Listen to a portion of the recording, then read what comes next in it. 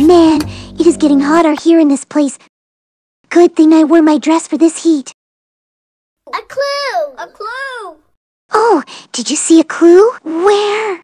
Right, there! There is a clue, and it's on this lava. Wait, how did Blue get a paw print on this lava?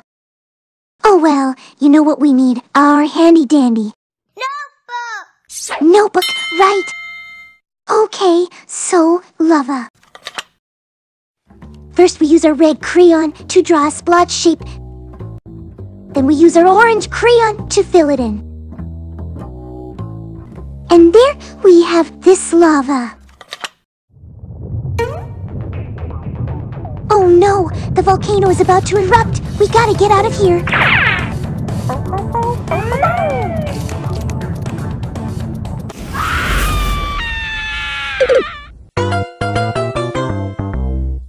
We're sorry about that, ladies and gentlemen. We're experiencing some clue technical difficulties. Please stand by.